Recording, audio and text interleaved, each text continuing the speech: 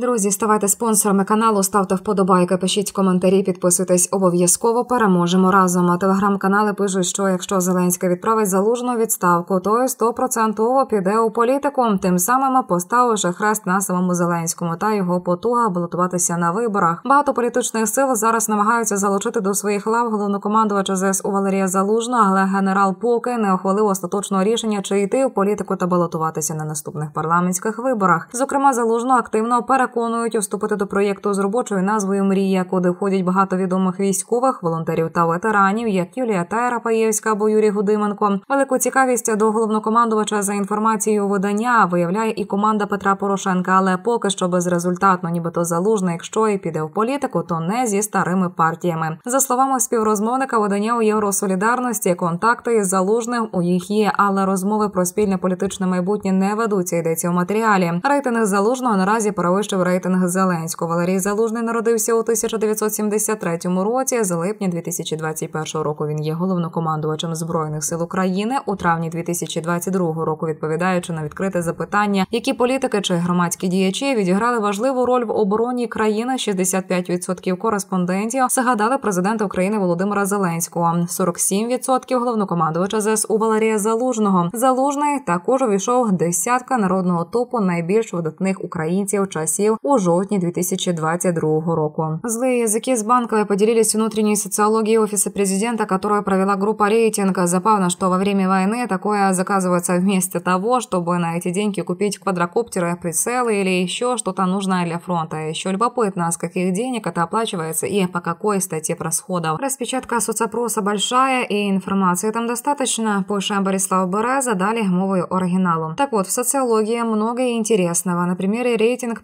партий как реальных, так и выдуманных. На первом месте пока «Слуга народу», но жесткая динамика снижения. Если в мае, в самом начале вторжения, заслуг были готовы проголосовать 52,6%, то сегодня за них готовы отдать свои голоса лишь 32,2 опрошенных. Стоит обратить внимание, что данные с мая месяца. Это говорит о том, что с какого времени проводятся соцопросы под заказ офиса президента. Тоже интересный аспект. Дальше идет партия Валерия Залужного. Вот такая простая партия. Она наоборот растет и уже имеет рейтинг 24,5%. То, что такой партии нет, на банковой никого не смущает. В их голове она, похоже, существует и имеют ее уже два месяца. Затем идет партия Сергея Притула, которую там же меряют с мая 2022 года. Она показывает снижение до 8,2%. В предыдущем опросе было 12,4%. В чем причина падения? Четвертая партия еще померили первые, и она показала сходу высокий результат 5,6%. Видимо, именно она отъела проценты у партии номер три. Самое интересное, что и этой партии так и не существует, но в вопросе она называется партия защитников АЗУ, значит и такое на банковой уже прогнозируют и считают эту партию конкурентом. Затем идет ЕС с 4,5%, дальше долго-долго никого с процентами, которые не позволяют им сегодня даже думать о прохождении в парламент, хотя там десяток партий, часть из которых сегодня в парламенте. При этом за партию, которая нет в вопросе, готова проголосовать 2,5%, не смогли ответить 7,9% и не придут на выборы 3,4%. Надо отметить, что в вопросе нет незначных партий, которые будут возвращаться из ОПЗЖ. Зря какая-то подобная партия будет, к сожалению. Нет в вопросе и партии с условным названием «Дия» с каким-то абстрактным Арестовичем во главе. Она будет. Подвожу итоги. Похоже, что с мая 2022 года на Панковой проводят замеры. Значит, с мая готовятся к выборам и оценивают всех, кто может быть потенциальным конкурентом с мая. И это многое объясняет. Но война еще не закончилась. Мы еще не победили, а делать такое глупо и ошибочно. Рейтинги после войны будут совершенно иными. Многие зависят не только от того, каким будет финал, но и как накоплят слуги и прислуга из офиса президента. Еще пара таких коррупционных скандалов, как с Минобороны, с домом, который купил в Стугах Алимон, или с Трухиным, и от рейтинга мало что останется. А ведь впереди еще вручение подозрения от Набу Кириллу Тимошенко, которая пока находится в подвешенном состоянии. И не только ему. В любом случае, я считаю, что такие опросы необходимо прекратить до конца войны и перестать всех оценивать по ним, иначе ни к чему хорошему это не приведет. Победимые пусть делаются замеры, проходят выборы и начинаются политические игры, но все это лишь после победы. Вот это самое важное. До зустрічі, друзі. Ставайте спонсорами каналу, ставте вподобайки, пишіть коментарі, підписуйтесь на канал. Переможемо разом.